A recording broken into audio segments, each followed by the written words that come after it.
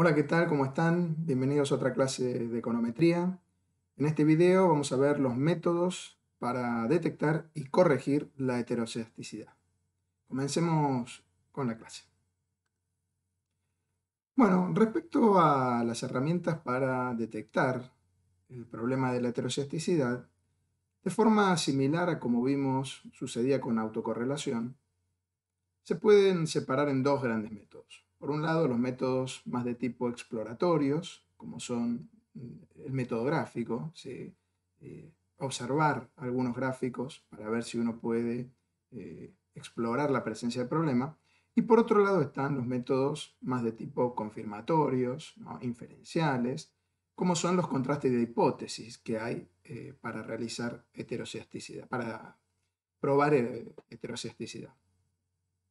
También de forma análoga a la que vimos con autocorrelación, no vamos a ver aquí todos los contrastes que existen para heteroscedasticidad, sino los, los principales o un conjunto, no sé si llegarían a ser los principales, pero un conjunto de test, entre los cuales tal vez están los, primeros o, clásicos test de, de, reitero, no es una lista exhaustiva de todos los posibles test de hipótesis que hay sobre, este, sobre esta violación del supuesto clásico de la homosexualidad. ¿sí? O sea que en la bibliografía seguramente también eh, van a poder ver, ustedes van a poder encontrar muchos otros, ¿no es cierto? Nosotros aquí vamos a ver específicamente el test de Park, que es uno que a veces es bastante dejado de lado. A mí me gusta presentarlo porque es muy sencillo, da una primera idea muy intuitiva de cómo, de qué es lo que se está tratando de detectar en no solamente con ese, sino permite entender bien por diferencia que se está tratando de detectar con los otros. Porque vamos a ver que sí una diferencia que hay entre los contrastes de heterosexticidad, por ejemplo, en comparación con los de autocorrelación, eh, es que aquí está más marcado todavía esto de que cada contraste persigue observar eh, un tipo de problema distinto, ¿sí? un tipo de heterosexticidad diferente. ¿no? En autocorrelación también pasa eso un poco, pero en heteroscedasticidad es como que está más marcado. ¿sí? Bueno, el test de Park, entender el test de Park eh, permite, a, mi modo de ver, eh, claramente esa diferencia. ¿sí? Empezando por un test muy, muy sencillo como es ese. Después vamos a ver el test de Glesker, que también es una variante en definitiva del de Park, vamos a ver, este, y también en ese sentido es de los más sencillos, más elementales. ¿no? Después ya pasamos a los que son un poco los más gordos, más clásicos dentro de la literatura, que son el test de Golfer y Quant, y el test de los más importantes, diría yo, los que vamos a ver nosotros, que son el test de Broish y Pagan y el test de White. El test de White lo vamos a ver, es el más general posiblemente de este grupo que estamos viendo acá. Pero como les decía, quedan fuera también otra tanta cantidad de, de test. Por ejemplo, se me viene ahora a la mente el test de Harvey, que es uno que sirve para probar también un muy particular tipo de heterosexticidad. Eh, bueno, y así otros, ¿no es cierto? Comencemos entonces a ver en qué consisten o cómo se realizan los gráficos que sirven para explorar la presencia de eh, heterosexticidad. Básicamente consiste en hacer un gráfico. Y este gráfico, como todos los que venimos viendo en general, ¿no? de dos dimensiones, ¿sí? parte previamente de realizar una regresión por mínimos cuadrados ordinarios, como si uno estuviera ignorando el problema de la heterosexticidad, o es decir, suponiendo que se cumple la homosexticidad. ¿sí? ¿Con qué objeto? Con el objeto de tener una estimación de los errores, es decir, tener los residuos del, modelo, de una, de una primera estimación del modelo, y graficar esos residuos elevados al cuadrado Acuérdense que los residuos al cuadrado no son otra cosa que una aproximación de los errores o términos de perturbación elevados al cuadrado, eh, que en definitiva son, que el valor esperado de estos términos de error elevados al cuadrado, en definitiva son, si se cumple el supuesto de esperanza igual a cero del término de perturbación, la varianza. ¿no? Y por eso es que estamos tratando de, eh, por eso es que graficamos los residuos al cuadrado. O sea, acuérdense que la heteroscedasticidad es la ausencia de una varianza constante, ¿no? O la presencia de una varianza que, va, que, varía, digamos, ¿no? Que es variable, ¿no? Eh, y por eso entonces nos preocupamos por la varianza del error, que claramente no la, no la observamos, es un, Uno o más, porque acá como es distinta, no es constante, la varianza ya no es como antes un parámetro, ¿no es cierto? Antes era sigma cuadrado, digamos. Ahora ya no es un solo parámetro. Eh, vamos a ver que en general eh, puede tener detrás una función, un modelo propio, la varianza del error, ya no es una constante, sino una función en todo caso, que sigue su propio modelo, ¿no? Eh, o para el cual podemos tener un modelo, para la cual podemos tener un modelo. Y esa varianza vuelve atrás, ¿no? Eh, bajo el supuesto de perturbaciones centradas en cero, no es otra cosa que la esperanza de los errores al cuadrado, que se pueden aproximar a través de los residuos elevados al cuadrado. ¿sí? Entonces la idea es graficar esos residuos en el eje de ordenadas, ¿no? versus si es un modelo de regresión simple, la única variable explicativa que tengamos, la única x, y entonces versus los valores observados de esa variable eh, explicativa del modelo, de esa variable x. Ahora, si tenemos un modelo de regresión múltiple donde hay más de una variable explicativa, eh, o podemos graficar estos residuos al cuadrado versus cada una de las observaciones de las distintas variables explicativas, es decir, tener tantos gráficos de este tipo como variables explicativas tenga el modelo. O si no, lo que es muy usual es graficar, por lo menos en primera instancia, estos residuos al cuadrado en función de los valores ajustados de la variable endógena, ¿sí? de los Y sombrero. Eh, si uno, como veremos en el tercer paso enseguida, ¿no? detecta que allí podría haber algún problema de heteroscedesticidad, ahí sí entonces eh, es muy frecuente tratar de ver eh, cuál de las variables x puede estar siendo responsable de esa heteroscedesticidad, representando los residuos al cuadrado contra esas variables explicativas x sospechosas de heteroscedesticidad, y si uno no tiene ninguna sospecha, contra cada una de esas x, contra todas las x, o sea que tendría tantos gráficos como variables explicativas. Ahora, si en el gráfico de los residuos al cuadrado versus los valores ajustados de la variable dependiente, no hay ningún indicio de heteroscesticidad, podemos seguir suponiendo homoscesticidad, ¿no? Ahí no hace falta entonces graficar los residuos al cuadrado versus ninguna de las x. Bueno, entonces, como les decía, el tercer paso, ¿cuál es? Observar la existencia en este gráfico o en estos gráficos de patrones que nos indiquen la posible presencia del problema este de la heteroscesticidad. ¿Y a qué nos referimos con patrones? Y a relaciones no aleatorias, ¿no es cierto? relaciones, por ejemplo, de tipo lineales, cuadráticas, logarítmicas, entre otras.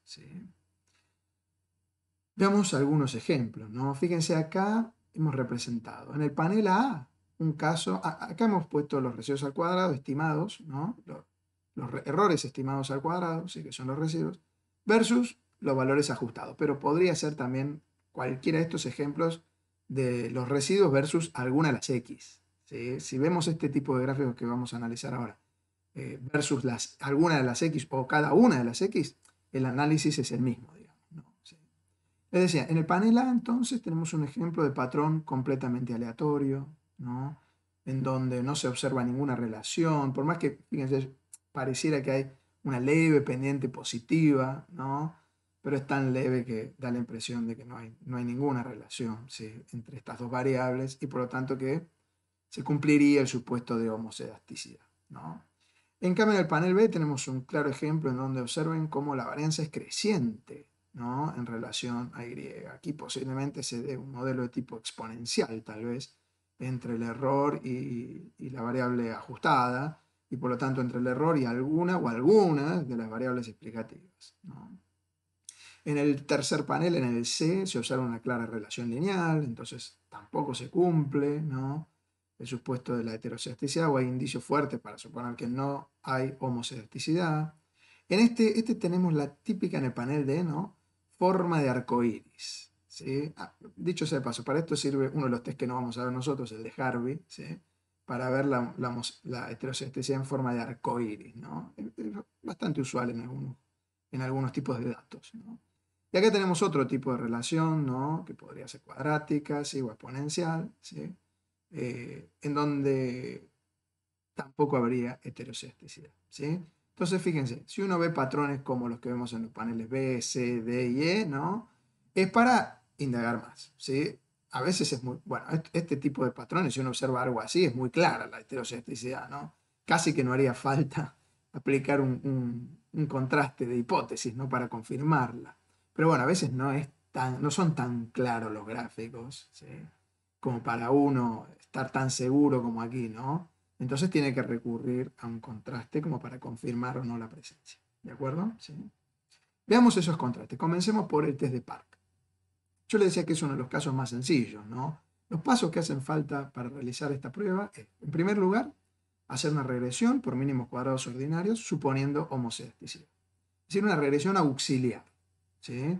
Que nosotros sabemos que está mal porque o que podría estar mal, porque todavía no hemos confirmado ¿no? la, la Podría estar mal, entonces, si hubiera heteroscepticidad, no, no, no, tiene mucho sentido estimar por mínimos cuadrados ordinarios los parámetros del modelo, porque ya vimos que nuestras estimaciones van a ser ineficientes. Eh, pero ¿por qué lo hacemos? Porque después vamos a usar, en el segundo paso, los residuos ¿no? en una regresión nuevamente auxiliar, ¿no? Eh, en donde estos residuos elevados al cuadrado van a ser la variable dependiente de la regresión, ¿sí? generalmente tomados en logaritmos naturales, ¿no? es común.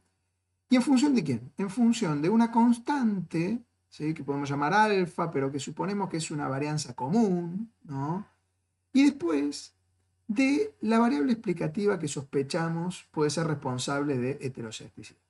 Si el modelo es lineal simple de la única variable, no, puede haber más de una sospechosa, porque hay una sola variable explicativa, entonces lo hacemos en función de esa única variable. ¿no? Si, tomamos acá logaritmos, también acá suele ser una relación auxiliar en doble, en log-log, digamos, doble logarítmica. Eh, bueno, justamente, fíjense que trata de representar una relación mm, no de tipo lineal, ¿no es cierto? Si hemos tomado logaritmo justamente, ¿no? Este test de Park trata de, identificar si hay una relación, ¿no? Entre la varianza del error y esa variable sospechada de heteroscesticidad que no es de tipo lineal, si no, no hubiéramos tomado estos logaritmos, ¿cierto? Em, bien, entonces, si tenemos, si, si fíjense que requiere sospechar de una variable, ¿no es cierto? De alguna variable eh, responsable de la heteroscepticidad. ¿Con qué la vamos a, ¿De dónde vamos a sacar esa sospecha? Y, por ejemplo, con, algunos de los gráficos anteriores, ¿no? Primero hay que hacer entonces, realizar algunos de estos gráficos, ¿sí? Y si uno, con el método gráfico, por ejemplo, en una regresión múltiple, prueba primero los residuos al cuadrado versus los valores ajustados. Si ve algún patrón que no le parece demasiado aleatorio, ahí vas a hacer un contraste, por ejemplo, como este. ¿no?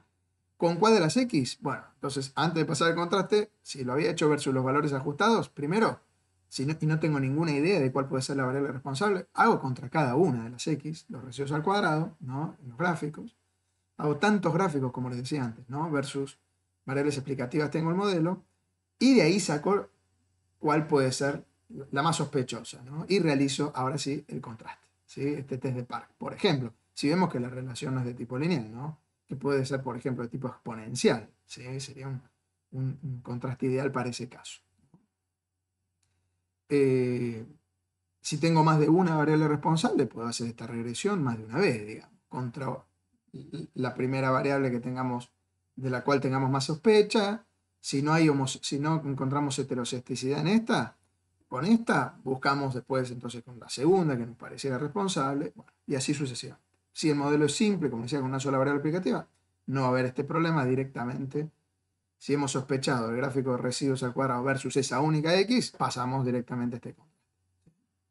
Bueno, ¿y cómo se verifica o no la heteroscepticidad? Hacemos una dócima para la pendiente, para beta. Hacemos un contraste T ¿sí? el contraste de, validación este, de este, único parámetro que tenemos acá, ¿sí? una prueba T de significación individual, y si resulta significativo es evidencia de heteroscepticidad. Es decir, que la hipótesis nula acá es la homoscepticidad. Y la hipótesis alternativa es la heteroscepticidad. ¿De acuerdo? Bueno, entonces, si beta resulta significativamente distinto de cero, quiere decir que hay una relación ¿no? entre el logaritmo de los residuos al cuadrado y el logaritmo de las x. entonces hemos eh, comprobado, estaríamos confirmando con determinado nivel de significancia que tendríamos presencia del problema de la heterosexualidad. ¿sí? Porque estamos rechazando la hipótesis nula de homosexualidad. Muy bien. Veamos el test de Klesker. ¿sí? En este caso, el primer paso consiste en hacer una regresión del valor absoluto de los residuos en función de una constante, de manera similar en eso al anterior, y la variable explicativa sospechada como responsable de la heterosexualidad, según lo que ya hemos visto antes con el método gráfico. Según lo que hemos descubierto, entre comillas, con el método gráfico. Bueno, observen que, de vuelta, hace falta en realidad previamente una regresión auxiliar o dos regresiones auxiliares. Primero una del modelo eh, original nuestro, ¿no? De Y en función de la o las X que tengamos y estimar los, los beta de ese modelo por mínimos cuadrados ordinarios. Obtener los residuos de esa primera regresión y luego hacer una regresión auxiliar con esos residuos, ¿cierto? Esa es la que estamos haciendo acá en este primer paso, ¿no? La diferencia con el test de Park es que en vez de tomar logaritmo natural de los residuos al cuadrado, aquí simplemente tenemos los residuos en valor absoluto. También podrían estar al cuadrado. Hay de cada uno de estos tests hay muchas variantes. ¿no? Podrían estar tranquilamente estos residuos al cuadrado, pero eh, no tiene mucho sentido si estamos trabajando con el valor absoluto, ¿no? porque ya los hace a todos positivos, entre comillas. Entonces, por eso es que acá es más usual la alternativa de no elevarlos al cuadrado. ¿sí? Pero podría ser también. Eh, les decía, en función de una constante y una variable, la variable que sospechemos. ¿no? Si hay más de una, tendremos que hacer más de una vez este tipo de regresión. Fíjense que acá lo que trata de capturar es claramente un modelo de tipo lineal entre la varianza y la variable sospechada de la heterosexualidad. ¿sí? A diferencia del test de Park, que representaba por eso una, relación diferente, y por eso tomaba logaritmos en, ambos miembros de la regresión. Bueno, y acá también, la, forma de contrastar esto es de vuelta hacer un test de significación individual para la x, es decir, contrastar si beta es igual o distinto de cero. La hipótesis nula que beta sea igual a cero implicará la homosexualidad y la hipótesis alternativa que beta sea distinto de cero, la heterosexualidad. Por eso decimos que si llega a resultar beta significativamente distinto de cero, es evidencia suficiente de la heterosexticidad. Por lo menos la heterosexticidad de este tipo, ¿no? La lineal entre los residuos eh, en valor absoluto y esa variable sospechada de heterosexticidad. Veamos el test de Golf-Licuán. Este ya es un poco diferente. Fíjense, el primer paso consiste en ordenar en forma ascendente de menor a mayor todas las variables del modelo pero según los valores de la variable sospechada como la responsable de la heterosexualidad. Es decir, si a través del método gráfico ya tengo alguna variable que puede llegar a ser responsable, identificada alguna variable que nos parece puede ser la responsable de heterosexualidad, ordeno todas las observa, toda nuestra base de datos, pero en función de un orden ascendente de esa variable, de esa columna que tengamos en nuestra base de datos. ¿sí? Eh, no quiere decir que cada columna de la base la vamos a ordenar de menor a mayor, porque ahí estaríamos mezclando las observaciones, ¿cierto? ¿Sí? No podemos cambiarle los valores a cada una de las observaciones, a cada fila. ¿sí? Cada fila tiene que tener dentro de esa fila los mismos valores, ¿no? Si no estoy mezclando valores de, la X de un individuo con los de la otra, de Y de otro individuo, ¿no? No, no, no. Lo que decimos acá es que lo que hay que hacer es observar cuál de esas columnas es la que estaba, cuál de esas X era la de la que sospechamos heterosexticidad, responsabilidad la heterosexticidad, y ordenamos toda la base de datos en función de un orden ascendente de esa columna. Bien. Una vez que hicimos eso, lo que vamos a hacer en un segundo paso es suprimir, eliminar o descartar las observaciones que queden dentro del centro ¿sí? de, la base de datos ordenado de esta manera. ¿sí? Vamos a descartar un tercio de las observaciones. ¿sí? Y nos vamos a quedar con el tercio de valores más bajos y con el tercio de valores más altos. Y con ellos, con esas observaciones, hacer dos regresiones por separado. ¿sí? Es como tomar dos submuestras y descartar la tercera, la que queda en el centro. ¿sí?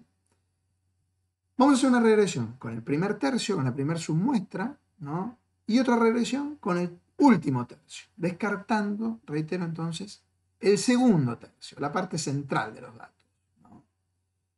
Y en tercer lugar vamos a hacer una dócima de hipótesis que va a utilizar la suma de cuadrados residuales de estas dos regresiones auxiliares que vamos a realizar en el segundo paso sobre el primer tercio y el tercer tercio de los datos. Esa suma de cuadrados residuales nos van a permitir hacer un contraste F muy similar a qué tipo de contraste. ¿Qué les parece que estamos haciendo? Esto no es otra cosa que un test de igualdad de varianza, ¿no es cierto? Fíjense que es muy parecido a un test de igualdad de varianza. Lo que estamos viendo es si la varianza de, uno de los tercios, por ejemplo, la del tercero en este caso, ¿sí? le ponemos 2 porque es sub 2, ¿no? y acá sub 1 porque son de las dos regresiones que hacemos nosotros. ¿sí? Acuérdense que hay un tercer grupo de datos, los del centro, pero eso los descartamos. Nosotros nos quedamos con dos regresiones. A la suma de cuadrado residual de estas dos regresiones la vamos a llamar sub 1 o sub 2, ¿no? Porque son esos dos, esos dos modelos los que hemos corrido. Les decía entonces, acá lo que podríamos estar probando entonces es ver si son iguales o no las sumas de cuadrados residuales del, segundo, del último tercio, digamos, y del primero.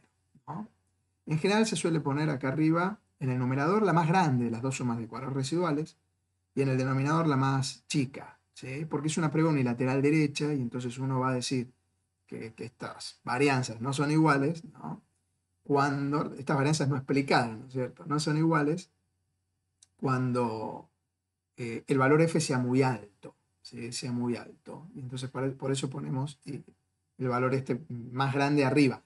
Podría ser al revés, ¿no? Supónganse que la suma de color residual del primer tercio es la más grande, la E sub 1 traspuesta E sub 1, entonces lo damos vuelta, no hay problema. Ponemos esta suma de color residual en el numerador y esta que tenemos aquí en el numerador la ponemos en el denominador. ¿sí?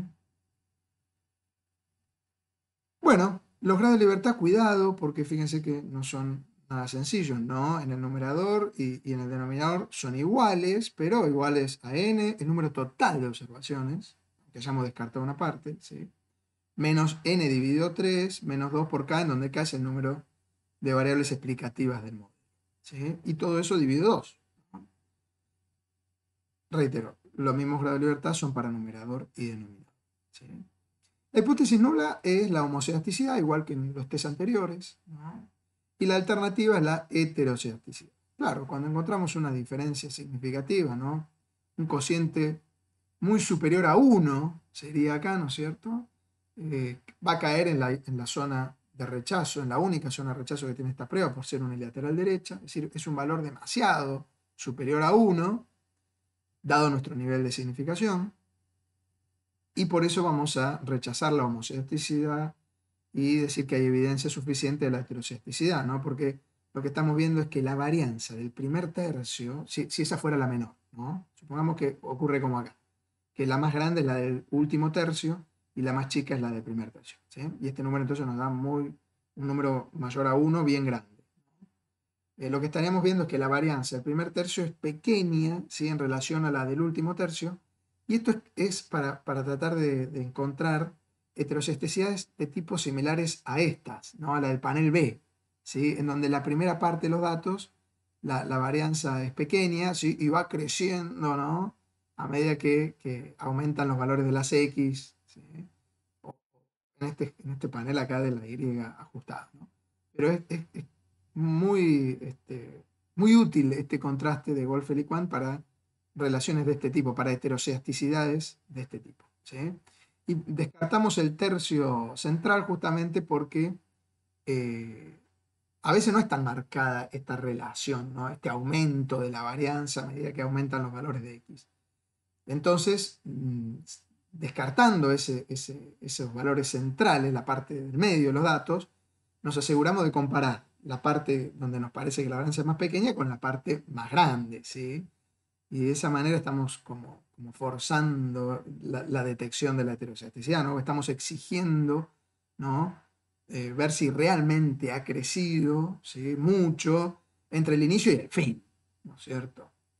Bueno, hay variantes también de este test, en donde en lugar de un tercio se descarta otra proporción de los datos. Otra proporción que no necesariamente es un tercio, puede ser un cuarto, puede ser menos, más, ¿no es cierto? La, forma clásica de realizarlo es con un tercio, la más sencilla, ¿no es cierto? Sobre todo porque después voy a hacer dos regresiones, ¿no? Pero bueno, Lo mismo se puede separar en tres partes la muestra y, la parte central no necesariamente tiene que ser un 33%. La forma más clásica de hacerlo es que sea un 33%, pero no necesariamente. También va a depender justamente de lo que uno ve en el gráfico. Lo que uno ve en el gráfico. Si uno ve que ese crecimiento es tan grande, ¿no? que no hace falta descartar tanto del centro para ver que hay una diferencia grande entre el principio y el fin, ¿sí? se puede descartar menos del centro que sea más chico el intervalo de datos que descartamos. También va a depender de la cantidad de datos que tengamos. ¿sí? Si descartar un tercio, por ejemplo, hace que en cada una de las dos regresiones, de las submuestras que vamos a usar nosotros, nos quede muy poca cantidad de información, no muy pocos datos en relación al número de parámetros que tenemos que estimar. Y ahí nos conviene entonces reducir un poco la, la, cantidad de datos que vamos a descartar, que no vamos a usar del centro, ¿sí? para tener muestras de tamaño mayor en esas dos regresiones que sí vamos a hacer con los extremos, ¿cierto? Bien, entonces de ahí es que se puede usar diferente este test y no necesariamente descartar un tercio de las observaciones. ¿De acuerdo? Pero es la forma más usual. A continuación vemos el test de Broish y Pagan. ¿sí? Este, el primer paso, requiere, eh, sigue también como todos los anteriores, ¿vieron? Hacer una regresión auxiliar en donde intervienen como variable dependiente los residuos elevados al cuadrado, pero acá podríamos decir que normalizados. ¿Por qué? Fíjense que están divididos por la varianza del error, pero en realidad por una estimación de la varianza del error. Eh, y hago, llamo mucho la atención sobre esto, me paro un, ratito aquí sobre este punto, porque, a ver, ¿cómo puede ser que tengamos, primero no podía ser sobre la varianza del error porque es un parámetro desconocido. Claramente tiene que ser una estimación, ¿no? Pero ahora, en segundo lugar, ¿cómo es que vamos a estimar la varianza del error si estamos sospechando que hay heteroscepticidad? No puede haber una varianza del error, ¿sí? Constante por más que sea desconocida, dejando de lado el problema de que hay que estimarla, ¿no? ¿Cómo puede ser si no hay una varianza constante? ¿no? Bueno, justamente la idea es, eh, como estamos estimando por mínimos cuadrados ordinarios, estamos inicialmente suponiendo que no hay heteroscedesticidad, ¿no? que hay homoscedesticidad y estaríamos estimando esa supuesta varianza constante. ¿no? Y usaríamos, por supuesto, claramente el estimador máximo verosímil, ¿no es cierto? corregido además, no podríamos decir, de la varianza del error. Perdón, no el corregido, no el corregido. El mejor que hay. No necesitamos una estimación insegada, ¿no? Piense que es dividido n, el estimador máximo verosímil, ¿sí? De la varianza del error, tal cual lo vimos en la unidad sin corregir, para que sea insegado. Em, por eso les digo que están como normalizados estos residuos cuadrados, ¿no? Al dividirles eh, la varianza, ¿sí? Eh, alguno podría decir, pero ¿cómo, profe? ¿No era que, se dividen sobre la raíz cuadrada para estar normalizados? Bueno, ojo que ya están al cuadrado arriba los residuos, ¿sí? Eh, entonces, si yo los tuviera los residuos no al cuadrado, aquí sí podría tomar raíz cuadrada.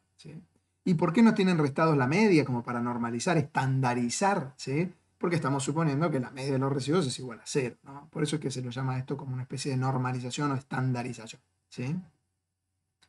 ¿En función de quién? Esto, esta, van a ser, esta va a ser la variable dependiente. ¿no? A cada residuo observado por nosotros luego va a ser la regresión original del modelo como si no hubiera heterosecticidad y elevarlos al cuadrado. Le vamos a dividir esta estimación máximo verosímil de la varianza error. ¿sí?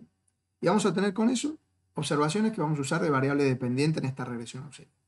Y va a estar en función de las variables explicativas que sean sospechadas o responsables de causar la heterosecticidad. ¿sí? De todas ellas. No todas las variables explicativas del modelo original, cuidado, todas las que sean sospechadas de ser causantes de, heteroscedesticidad. Que vamos a llamar, que vamos a suponer que es un número K de variables explicativas del modelo original. ¿De acuerdo? Si suponemos que esas K son las variables explicativas sospechadas de heteroscedesticidad, vamos a hacer en función de todas ellas, más una constante. ¿Cuál es la idea detrás de este test? Fíjense que si uno pasara multiplicando, eh, o, mejor dicho, multiplicaran ambos miembros por esta varianza estimada por máxima verosimilitud, ¿no? Dejemos de lado que fuera una estimación, que es una estimación. Tenemos una estimación porque no conocemos el valor, de parámetro. Supongamos que lo conocemos, ¿sí? que no hace falta estimarlo. Del lado derecho, al multiplicar todo ¿no? por, por esa varianza ¿sí? del error, nos quedaría la varianza por un alfa sub 0, que sería a su vez una constante. ¿no? Multiplicar una constante por otra constante nos da una constante. En cambio acá tendríamos la varianza por esta constante, pero por x1, ¿sí? Y lo mismo así hasta xk, ¿no? Esa varianza ¿no? común, digamos, multiplicada por una constante, que daría una pendiente distinta para xk, ¿sí? por esa otra variable. En definitiva, tendríamos nuevos coeficientes del modelo y una constante.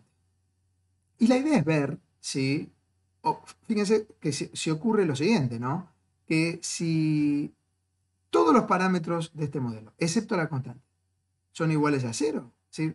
Suponemos un test, por ejemplo, global de validez global, ¿no? El test de validez global, ¿no? En donde demostramos que en forma conjunta todos estos coeficientes, excepto el intercepto, ¿no?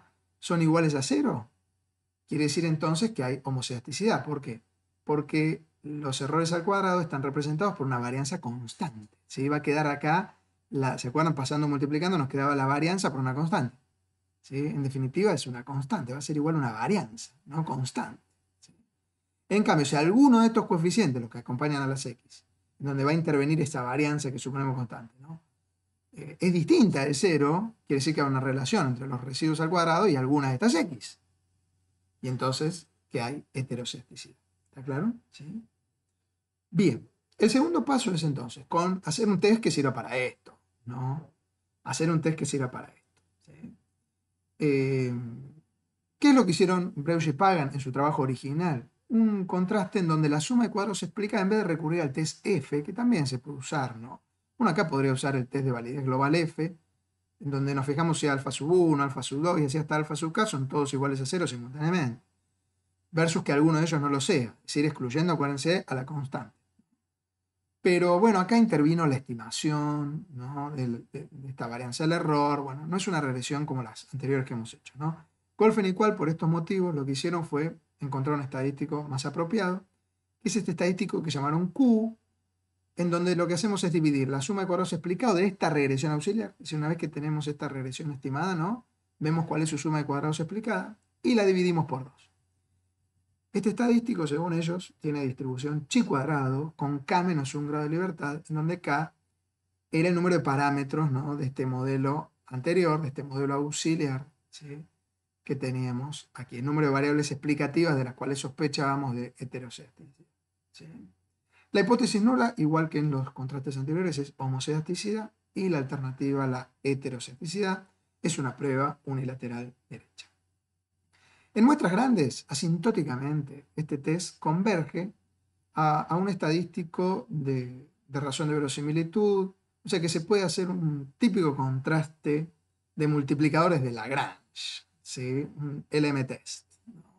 Sobre esta regresión auxiliar, puesto les decía entonces que este estadístico converge a n por el coeficiente de determinación, n por el r cuadrado de esta regresión auxiliar, ¿sí? en donde n es el tamaño de la muestra con la que estamos trabajando. ¿sí? O sea que este estadístico, en el límite, ¿no? con muestras grandes, converge a n por r cuadrado, que también tiene distribución chi cuadrado con k menos un grado de libertad. ¿sí? O sea que en vez de calcular la suma de cuadrados explicada sobre 2, lo que podemos hacer es directamente multiplicar el número de observaciones por el coeficiente de, determinación observado. ¿sí? Que a veces es muy rápido de hacer porque la mayoría de los software es lo primero que nos muestra, ¿no? Cuántos datos hemos utilizado, el R cuadrado, entonces rápido ahí multiplicamos esos dos números. Si el tamaño de muestra es suficientemente grande, ¿no? Y ya tenemos enseguida el estadístico observado del Breusch y Paga. ¿sí? Bien, por último, veamos el test más general de todos estos, que no supone, fíjense que todos los anteriores suponen de alguna manera algún tipo de relación entre la varianza estimada del error a través de los residuos, ¿no? el cuadrado, y eh, las variables sospechadas de heteroscepticidad. ¿no? Todos suponen, si no es una relación exponencial, es una relación lineal, si no es contra una variable, es contra varias, como el último test, ¿no es cierto? Bueno, y así sucesivamente, ¿no? Distintos tipos de relaciones. Podríamos usar variantes, como les decía en los test anteriores, ¿no? Para reflejar otros tipos de relaciones entre los residuos cuadrados y la o las variables sospechadas de heteroscepticidad, ¿no? Pero siempre estamos tratando de detectar algún tipo de relación funcional, ¿no? Alguna, eh, eh, alguna variable sospechada o, o, varias, ¿no? Pero estamos viendo algún test que nos permita ver, bueno, al mismo tiempo, ¿sí? Si yo no tengo idea de si la relación puede ser lineal o no lineal, no tengo idea de cuál puede ser la sospechosa de heterosceticidad, ¿sí? porque con el método gráfico la verdad que no llego a encontrar eh, prueba suficiente para identificar cuáles son las responsables o para estar seguro de qué tipo de relación no lineal o lineal ¿sí? encontramos. ¿sí? Eh, y entonces al no tener esa seguridad no, no, no, sabríamos por cuál de estos test empezar. Podríamos realizar todos, pero eso también es muy engorroso, ¿no es cierto? ¿Sí? ¿No hay alguna forma más sencilla? Bueno, hay una, es la prueba o el contraste de White, que desde ese punto de vista entonces es el más general, reitero, de todos estos contrastes, en donde lo que hacemos es realizar una, regresión de estos residuos al cuadrado, o sea que otra vez necesita, ¿no? Primero, estimar el modelo por mínimos cuadrados ordinarios, obtener los residuos y realizar una regresión auxiliar, en donde estos residuos al cuadrado son las variables dependientes. ¿Y las variables explicativas quiénes son? Todas las variables explicativas del modelo, todas, no importa si sospechamos o no, porque justamente es un test que se usa más cuando uno no tiene, no, no tiene una identificar alguna o alguna responsable, ¿no?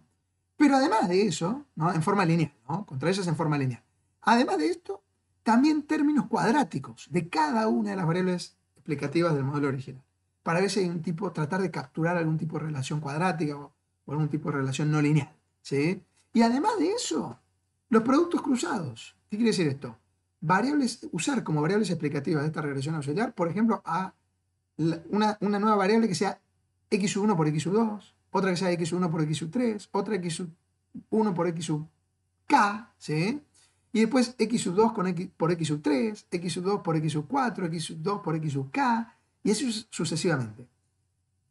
Usar también como términos mm, del, del lado derecho de esta regresión auxiliar, ¿no? Los llamamos productos cruzados entre las variables explicativas. Todos los que podamos obtener, todos los que podamos calcular. ¿De acuerdo? O sea que lo que estamos viendo es si hay heteroceasticidad debido a interacción entre variables explicativas. No solamente estamos viendo si hay algún tipo de heteroceasticidad debido a relaciones lineales o no lineales entre los residuos al cuadrado y las x del modelo, ¿no? sino también debida a interacción entre las propias X, ¿sí? que sea la interacción entre dos o más ¿no? de las variables explicativas la que esté causando esa interacción. A veces no es por una de las variables explicativas o por más de una pero separada, por efectos separados, sino que la combinación, el efecto combinado de dos variables explicativas es lo que está causando la heteroceasticidad. Y este test de White, si existiera ese tipo de comportamiento, de conducta, podría capturar ese tipo de, de cosa que los otros test, ninguno de ellos. Bueno, la hipótesis nula de vuelta en eso sí es parecido a todos los anteriores, es la homoceasticidad. Y la hipótesis alternativa, obviamente, la heteroceasticidad, ¿no es cierto? Eh, la hipótesis nula se acepta si los p-values, los p-valores de la prueba de validez global, F que podríamos hacer sobre la regresión auxiliar, y de las pruebas T de significación individual, para cada uno de estos términos que tenemos en esta super regresión auxiliar, que tiene muchísimos términos, ¿no? Pues fíjense que tiene uno lineal para cada x, uno cuadrático para cada x y además todos los productos cruzados, ¿no? Una super regresión, hace falta tener muchos datos, ¿no? Para llevar a cabo este test, ¿no? Entonces les decía, hace falta para aceptar la hipótesis nula que los p-values de la prueba de validez global F y las pruebas T de significación individual de todos estos términos, ¿no? de los coeficientes asociados a estos términos, eh, de, los, de, los, cuales, perdón, ¿no corresponden a los términos cruzados, ¿sí? son mayores al nivel de significación. ¿sí? Si el test F y los, el, test que, los T que podemos hacer con los términos cruzados de esta regresión auxiliar ¿no? nos dan p-values altos, ¿sí? vamos a aceptar la hipótesis nula de homoceasticidad. ¿sí? Esta es una forma de hacerlo. ¿no? Con muestras grandes, que esta es la forma más usual de hacerlo, se puede aplicar también un test de multiplicadores de Lagrange sobre la regresión auxiliar, puesto que de vuelta, ¿no? Eh, bajo la hipótesis nula de este test, se, puede demostrar que este estadístico, n por el coeficiente de determinación, converge una chi cuadrado con k menos un grado de libertad, en donde k es el número de términos de esta regresión auxiliar. Aquí sí, todos los términos, ¿sí? no solo los cuadrados, todos los términos de esta regresión auxiliar. Y entonces lo más usual es hacer esto, porque es raro ver, ¿no? Eh, o mejor dicho, si hay un montón de términos cruzados, tenemos que ver todas las pruebas T de esos coeficientes más la prueba de validez global, ¿no? Y tal vez hay uno de ellos que no es significativo, eh, o mejor dicho, que dé significativamente distinto de cero, y entonces que tendríamos que decir que hay heteroscesticidad, ¿no? Pero por ahí no por mucho. Vieron que a veces los p-values están, supónganse que queda cerca de 0,06. Está cerca de nuestro 0,05. Y es un valor que uno duda, ¿no? Con un criterio de 10% para la significación, uno diría, sí, hay que rechazar la hipótesis nula, ¿no? Pero son esos valores que no nos dejan muy tranquilos, ¿no? De los p-values, Si fuera 0,00001, bueno, ahí sí, ¿no? Pero cuando tenemos entre 0 y 0,10, ¿no? Entonces, para despejar dudas, si la muestra, el tamaño de muestra lo permite, ¿no? En general lo que hacemos es recurrir a esto, que es un test global de validez sobre toda la regresión auxiliar, ¿no? Y ahí estamos contrastando todos los coeficientes en definitiva al mismo tiempo, no solo los cruzados, sino también los otros. Y lo que hacemos es ver, en definitiva, si, si habría algún tipo de relación, ¿no? No solamente las interacciones, sino también eh, las lineales, las cuadradas. Bueno, con el anterior también, ¿no? Con la prueba, al, al probar la prueba F, ¿no? Eh, estamos pidiéndole ¿no? también evaluar las relaciones lineales o cuadráticas, además de los términos cruzados. ¿Sí? ¿De acuerdo? Bueno, entonces este sería el test más general que podríamos realizar. ¿sí? Eh, ¿La desventaja cuál es? Y que lo que estamos usando son test globales, ¿no es cierto? Para ver si hay o no heteroscepticidad, ¿no? Si hay un tipo particular muy fuerte de heteroscepticidad presente en los datos, eh, y por ejemplo, con el método gráfico nosotros tenemos cierta, lo hemos eh, identificado bastante, en, forma bastante clara, ¿no? Este test tal vez no detecte ese tipo de heteroscepticidad porque está tratando de probar al mismo tiempo un montón de tipos o patrones de heteroscepticidad distintas, ¿no? Entonces tiene la ventaja de que nos sirve cuando no conocemos muy bien esos patrones posibles, ¿no? Ahora, tiene la desventaja de que si uno puede o, tiene alguna idea de cuál puede ser ese patrón, es mejor hacer un contraste adecuado para ese, para ese tipo de modelo de heteroscepticidad y no este, ¿sí? que es demasiado general, ¿no es cierto? Bien, vamos a ver cómo corregir el problema de la heteroscepticidad, las medidas remediales. Vamos a ver cuatro nosotros. Mínimos cuadrados ponderados, transformación logarítmica, eliminación de variables responsables y el método de estimación de White. Mínimos cuadrados ponderados. En realidad es un caso particular de mínimos cuadrados generalizados. ¿sí? Porque fíjense cómo funciona. Primer paso. Detectada una variable explicativa responsable de la heteroscepticidad, con los gráficos, con los test, que, con algunos de los test que vimos recién. Se trata de inferir cuál es la estructura funcional de la varianza del error en función de esa variable responsable. Es decir, ¿qué tipo de heteroscepticidad demostramos? encontramos una relación lineal con los residuos al cuadrado. O encontramos una relación de otro tipo, no lineal. Las más usuales son o una lineal o una cuadrática. Podría haber de otro tipo, ¿no? Aquí puse dos, que son las más frecuentes, digamos, ¿no? Pero podría haber otro tipo, ¿no? Y plantear eso, ese posible modelo que, sigue, que, perseguiría la, o que seguiría, mejor dicho, la heteroscepticidad. ¿sí? Suponer que esta varianza no constante sigue un modelo, ¿no? Es función lineal o no lineal, según lo que ya hemos visto, de esa variable sospechada de, la, de causar la heteroscepticidad. ¿sí? Multiplica por una constante, una varianza que podría ser constante, ¿sí? pero que al multiplicarlo por x, ¿no? Por ejemplo, en este caso, va aumenta, si fuera positivo esto, ¿no? va aumentando con x. La varianza de, cada una de las observaciones. El segundo paso, ¿cuál es? Estimar por mínimos cuadrados ordinarios un modelo transformado. ¿sí? Por eso le decía que esto no es otra cosa que mínimos cuadrados generalizados, ¿sí? Que resulte de ponderar, de ahí viene que se llame ponderado, pero reitero, es un caso particular de mínimos cuadrados generalizados, ¿no? A las variables del modelo de acuerdo a la estructura funcional hallada para la varianza. Por ejemplo, si habíamos detectado con el método gráfico o con alguno de los test anteriores que nos, nos parecía que la relación era lineal entre la varianza del error y esa variable sospechada x de la heteroscesticidad, entonces lo que hacemos, si sospechamos de este tipo de relación, es a cada una de las variables del modelo, a todas, las endógenas, y cada una de las explicativas, a todas, ¿no? incluida el término constante del modelo, ¿sí?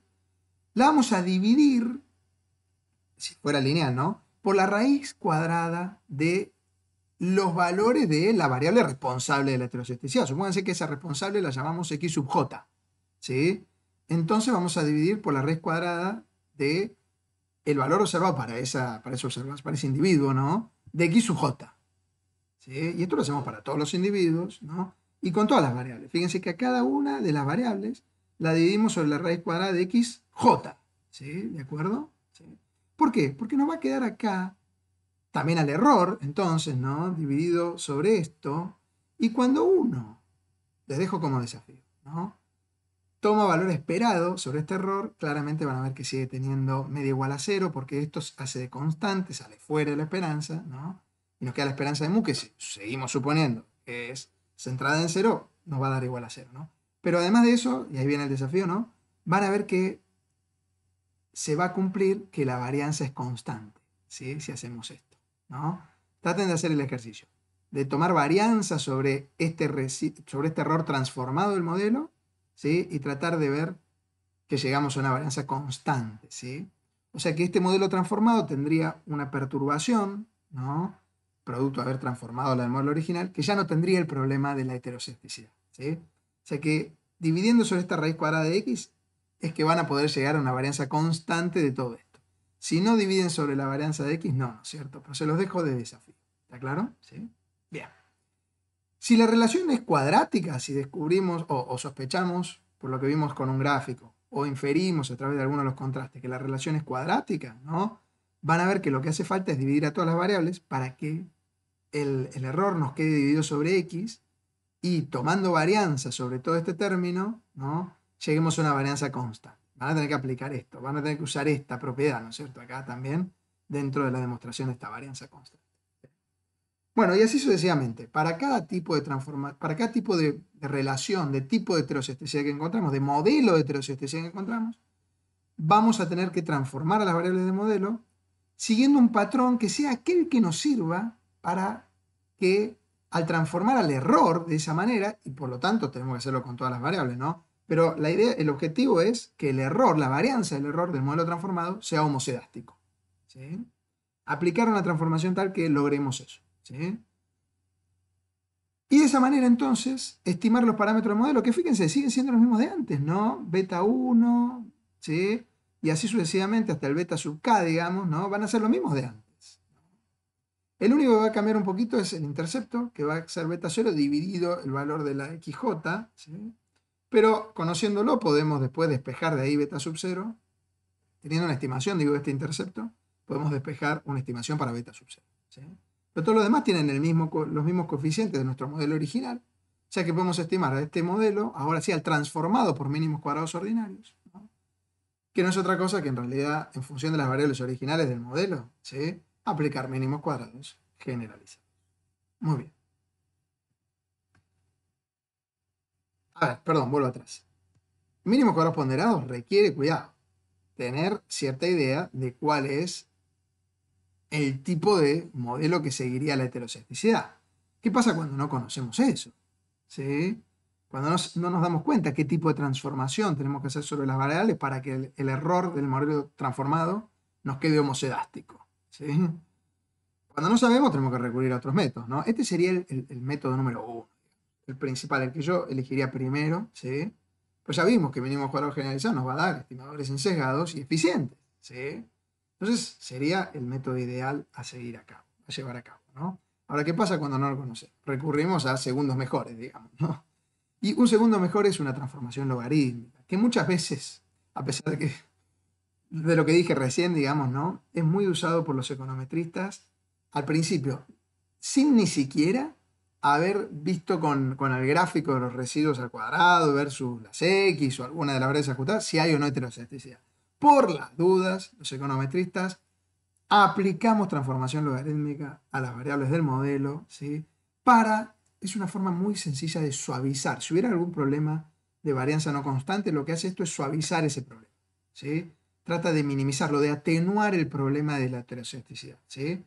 Sobre todo les decía, en realidad, ¿cuándo habría que usarlo? Cuando se desconoce cuál puede ser o cuáles las variables responsables de la heteroscesticidad. ¿sí? Y digo entonces, consiste simplemente en estimar el modelo con todas las variables en logaritmo. Transformar en definitiva también es una transformación, ¿no? Parecido a lo que vimos recién, a mínimo corresponderá, pero específicamente con la transformación logarítmica, ¿sí? Y esto lo que suele hacer es eso, atenuar el problema de la heteroscesticidad, ¿no? disminuir las varianzas, y de esa manera eh, no es que lo elimina el problema, sino que al, bajar las varianzas hace que no se note el aumento, si fuera el, el, caso, o la disminución, ¿no? Yo estuve dando ejemplos de donde la varianza va aumentando. Podría ser que la varianza vaya disminuyendo a medida que los valores de esa X sospechada, si la tuviéramos, va aumentando, ¿no? O a veces se da en forma de rombo, que al principio va aumentando la varianza, a medida que aumentan los valores de X, ¿sí? Y en algún momento llegan a un punto medio y a partir de ahí empiezan a bajar, ¿sí? Eso tampoco es varianza constante, ¿no? Se llama forma de diamante o de rombo, ¿no? De, la varianza, ¿sí? Bueno, entonces, tomando el logaritmo lo que uno suele hacer es achatar, ¿sí? por ejemplo, si nos dieran una forma de rombo, lo que hace es achatar eso, ¿sí? y de esa manera está como este, haciendo trampa, digamos, ¿no? Y eh, forzando la homocedasticidad, ¿de acuerdo? Bien. Otra tercera forma, la menos recomendada de todas, sería eliminar variables responsables, ¿no? Si yo sí, acá al revés, ¿no? Si sospecho pero no del tipo de transformación que tengo, no, me doy cuenta de qué tipo de transformación tengo que aplicar, ¿sí? O la transformación que aplico no resulta, ¿sí? Eh, no, termina de eliminar ¿no? la, la, la ¿sí? Pero sí tengo una variable responsable. Bueno, lo que puedo tratar de ver es si puedo excluir de alguna manera esa o esas variables explicativas detectadas como responsables de la heteroscesticidad, ¿sí? Pero cuidado con esto requiere, por un lado, justificación teórica, es decir, ver si sacar esa variable del modelo no me desarma el modelo teórico, no me tira abajo la teoría por la cual yo había presentado, había especificado este modelo. ¿sí? Si, el modelo no me sirve sin esa, esa o esas variables, ¿no? No las puedo eliminar. Eh, y además justificación estadística también. Tal vez estas variables son muy relevantes para explicar a la variable endógena, ¿no es cierto? Estadísticamente hablando decir, hacen falta ver si las variables son relevantes, teórica y estadísticamente. Si son variables importantes, que ya sea por la teoría o por el impacto que tienen sobre la endógena estadísticamente, ¿no? Son variables relevantes, importantes, que no podemos omitir y este método sirve claramente. Ahora, si son variables que hemos incluido por las dudas, por, si, para, para recontrolar algún efecto posible, ¿no? que nos parecía que podría estar presente en el modelo, pero que en realidad en el modelo teórico no estaba propuesta, así como variable explicativa. Y si cuando tiramos la, primera regresión esa por mínimos cuadrados ordinarios, ignorando el problema, en realidad la prueba T de significación individual para esa variable nos da un p-valor que no es muy bajo, ¿sí? Ahí sí, si se dan todas esas condiciones, podríamos recurrir a, ojo, y habíamos visto con el método gráfico o con los contrastes, algunos de los contrastes de heteroscesticidad que esa variable puede ser responsable de heteroscesticidad, bueno, sería un caso como para eliminarla entonces Pero si no se da todo eso, sería como una de las últimas opciones, ¿no es cierto? Eliminar variables de este tipo. Bien. Por último, está el llamado método de los errores estándares robustos de White. Este método, a diferencia de los anteriores, no requiere conocer la estructura funcional de la heteroscesticidad. ¿sí? y está basado en la matriz estimada de varianzas y covarianzas del estimador de, beta, ¿no? Por mínimos cuadrados ordinarios en el límite. Eh, es esta, eh, White demostró que es esta, esta matriz, ¿sí? igual a esta matriz, ¿no? Y lo que White propuso fue reemplazar, ¿no? A esta omega, que el problema que tenemos, ¿cuál es? Esta omega es desconocida, generalmente, ¿no? Justamente no conocemos la estructura funcional. ¿no? no conocemos cómo es esa diagonal principal, si se acuerdan de la, matriz esta, que, venía a representar la matriz de varianzas y covarianzas del término de error, ¿no? que, viene a estar detrás de esta omega. ¿sí? Eh, el problema es que esta omega es desconocida, entonces la, genialidad de White fue eh, proponer eh, un reemplazo para esta matriz. ¿no? Y él lo que hizo fue mm, reemplazar a la diagonal principal de esta matriz omega por los errores, los residuos, mejor dicho, elevados al cuadrado. ¿sí?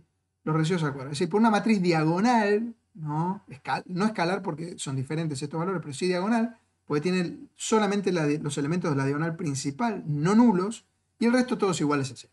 ¿sí? Entonces, usando esta, en definitiva es una ponderación, ¿no? Fíjense, si metemos esto aquí adentro, ¿no?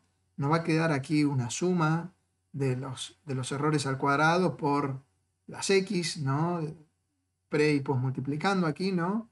En definitiva, lo que tenemos es una, una transformación, ¿sí? ¿De quién? Fíjense, solo en la diagonal principal, ¿no? De los errores estándar de los beta sombreros, ¿sí? Lo que hace este método es corregir solamente el error estándar, ¿de acuerdo? De los beta sombreros, ¿sí? Eh, esta matriz, ¿no? La, no la omega, sino toda, la, que involucra a omega también, esta gran sigma, si estimada de esta manera, es conocida como el estimador de Wild de la matriz de varianza y covarianza beta sombrero, ¿sí? en inglés la heteroscedastic consistent covariance matrix estimator, ¿sí? que, suele ser más conocida por su sigla en inglés HCCME, ¿sí? Y es un estimador robusto frente a heteroscesticidad. ¿De acuerdo? De los errores estándar de nuestros beta sombreros. Y sirve tanto para errores homocedasticidásticos como heterosedásticos. Por eso es que es eh, muy aplicada este, este, método, incluso uno no teniendo gran sospecha de que haya heteroscesticidad. Por las dudas, estimamos los errores estándar con este método, ¿sí? de manera robusta, ¿sí? porque eh, si hubiera heteroscesticidad, nos, salva el problema, y si hubiera homocedasticidad, va, va a darnos el mismo resultado. ¿sí? No, no, no, va a cambiar gran cosa, que sin haber aplicado este método de estimación de los errores estándar. O sea que fíjense, es un método ¿no?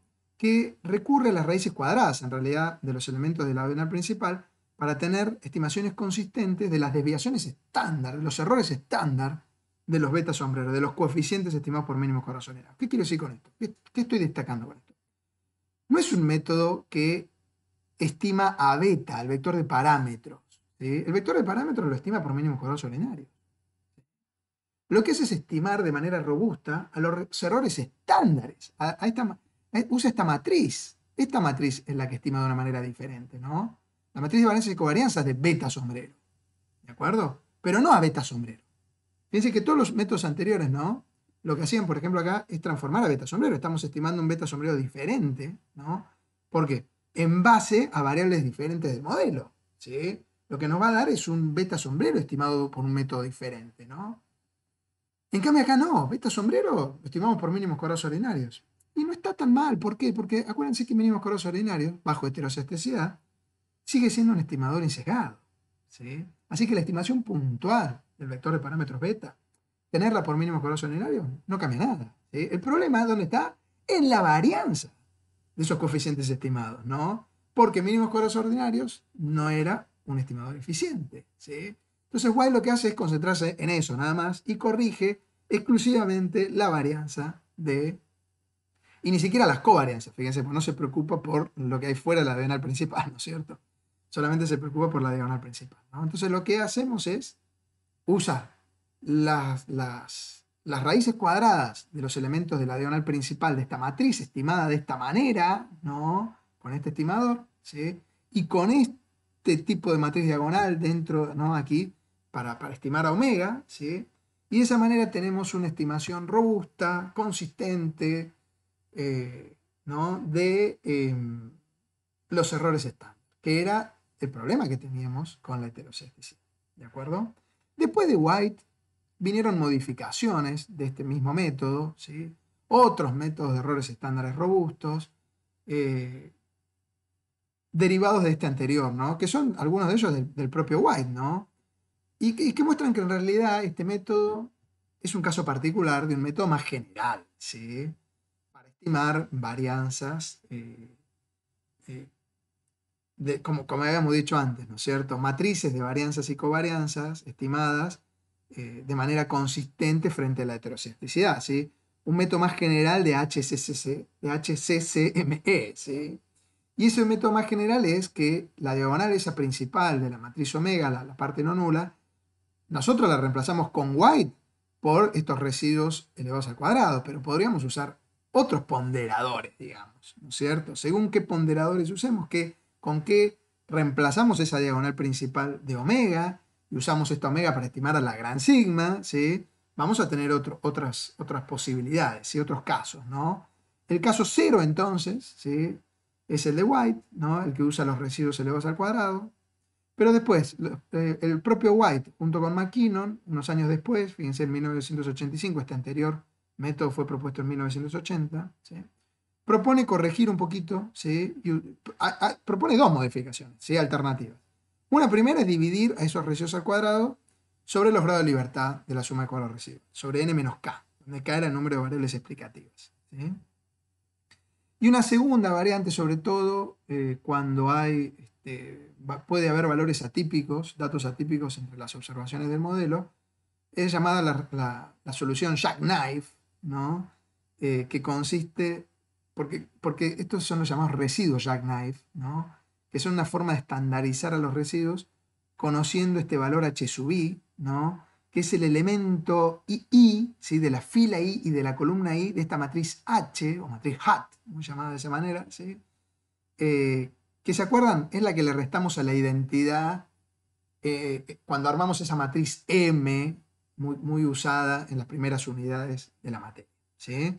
De X por la inversa de X traspuesta de X por X traspuesta. ¿sí? Esta H sub I es el elemento de la fila I y de la columna I, es decir, que está en la diagonal principal, digamos, ¿no? de esta matriz H, de fila I y columna I, de, esta matriz calculada de esta manera. ¿sí? Esto es, lo que se llama el efecto palanca o leverage, que mide en definitiva la influencia que tiene un, dato para, eh, para cambiar los, los, coeficientes del modelo, ¿sí? de alguna manera. ¿no? ¿Qué tan influyente es este dato? Esto está fuera del alcance de nuestro curso, ¿no? Vemos algo en econometría 2, aquellos que estén interesados, ¿sí? hagan esa materia, ¿no?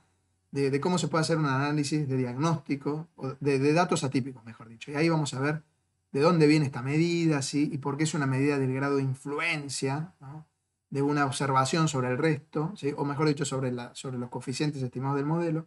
Y por qué permite de esa manera ver si un dato es o no atípico y si que sea atípico influye o no sobre la regresión, ¿sí? Eh, impacta de alguna manera sobre la regresión.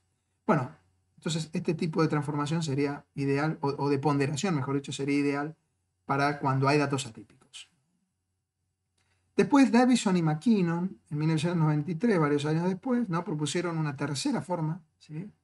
en donde a, lo mismo que habían propuesto McKinnon y White, eh, lo modifican un poquito más, elevando al cuadrado ¿sí? este, este, denominador. ¿sí? Y después, en 2004, fíjense, 11 años después, Cribar y Neto proponen una cuarta forma, ¿no? más general todavía, en donde además del cuadrado podríamos reemplazar por cualquier otro coeficiente acá, pero ellos se preocuparon por ver que este coeficiente lo ideal sea, es que sea el mínimo entre el valor 4 o n por el, leverage o la palanca, como habíamos dicho, se llamaba, ¿no? Este h sub i, sobre k, número de variables explicativas. Si es más, entre estos dos numeritos, ¿no? después del resultado hacer esta cuenta, resulta más bajo 4, reemplazamos por un 4. Si en lugar de 4 resulta más bajo este resultado, n por el hi sobre k, usamos ese valor aquí como exponente. El más bajo de entre estos dos, ¿de acuerdo? Pero bueno, como les decía, son variantes que no hay una regla que diga en realidad estrictamente que hay casos en los que sirve más uno que el otro, excepto esto por ahí de los datos atípicos. Después no, porque los mismos, sobre todo Davison y McKinnon, se encargaron de demostrar que eh, no dan de manera uniforme ¿sí? mejores resultados, es decir, para todos los casos posibles, ¿sí? mejores resultados algunos de estos métodos comparado con los otros. ¿sí? Y como eso no sucede, entonces, como no para todos los casos eh, resultan eh, mejor algunos de estos, y en algunas de, las situaciones es alguno de estos, por ejemplo, el, el, gamma sub 1, el omega sub 1 el mejor, en otros el omega sub 3, en otro el 4, ¿sí? No hay una regla general por la cual uno puede decir cuál de estos métodos hay que usar, ¿no? Sí se encargaron de mostrar Davison y McKinnon que el de White sería uno de los peores, digamos, dentro de todo, ¿no? Pero bueno, tampoco hay tantas diferencias. Así que se pueden usar cualquiera de ellos, ¿sí? Cualquiera de ellos. Hoy los software prácticamente nos permiten de un vistazo rápido, ver todos al mismo tiempo, ¿sí? ver los resultados al mismo tiempo, entonces uno puede verificar si con alguno de ellos se presenta alguna mejoría o no. ¿sí? Así que, nada, se puede usar cualquiera de ellos. ¿sí? Bueno, Y de esta manera entonces hemos visto cuáles son todos los métodos que tenemos para eh, remediar, para corregir la posible homocedasticidad, el heterocesticidad, perdón, ¿no es cierto?, del eh, presente en, nuestro modelo. ¿De acuerdo? ¿Sí? Bueno, espero que hayan disfrutado de esta clase y con esto mm, terminamos toda la parte de la unidad 6. ¿sí? Es decir, este es el último video, la última clase de la unidad 6 que fue bastante extensa. ¿no es cierto? Podríamos hacer una serie solamente con los videos de la unidad 6. ¿no? Eh, así que espero que hayan podido verla de manera entera. Si no vieron los videos anteriores a este, acuérdense, siempre es mejor ver la serie de videos en orden, ¿no? en el orden que yo les propongo y por eso les voy poniendo eh, a, cada, a cada video el, nombre del, del, número de la clase y a qué unidad pertenece para que los vayan viendo preferentemente en ese. Bueno, nos veremos entonces en eh, los videos de las próximas unidades. ¿no? En, el video, en el primer video seguramente de la unidad número, número 7. ¿De acuerdo? Hasta la próxima.